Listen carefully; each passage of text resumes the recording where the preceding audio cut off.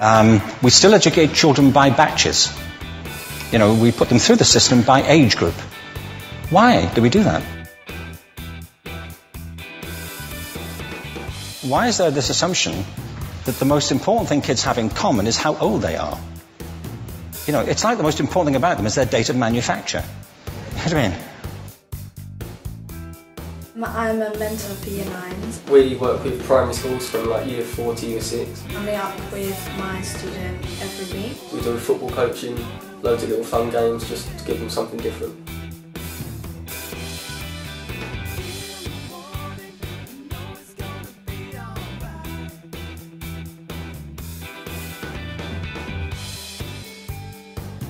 working with the kids as well, like the call, anything like that, the movements has been really, really good. Um, now I come, I know all the six formers, I know Zach and Charlie and...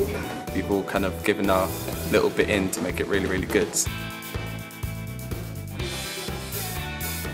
It was the thing that I always looked forward to doing. Like when I got to school, that was like what motivated me, and um, you know, I wanted to do well in classes, so that I was allowed to go to Vocalize because obviously it was like a treat.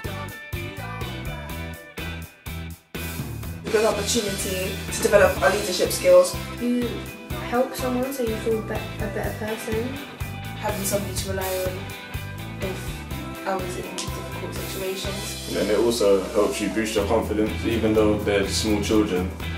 Daunting as well the first time. It's nice to work with someone who had lots of experience and someone to, you know, kind of be a role model towards you.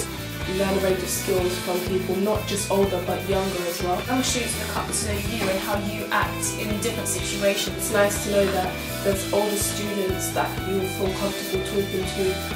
I actually give them advice that I should take on myself, so it helps me personally. It's good to um, get to know each other.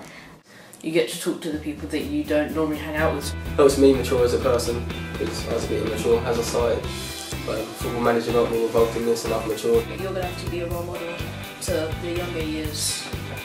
You're just stuck in your year group and you don't often get to mix and I think you build like almost like a little community in the school. I think it'd be better.